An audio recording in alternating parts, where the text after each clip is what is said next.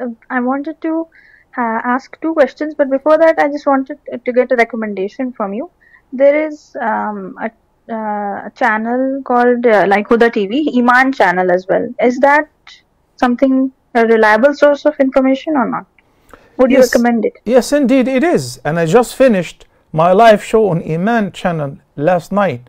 So I have once or twice a live Q&A program every week, mashallah. So it is one of our channels and run by uh, our brothers, alhamdulillah, in Al Muntada out of the UK.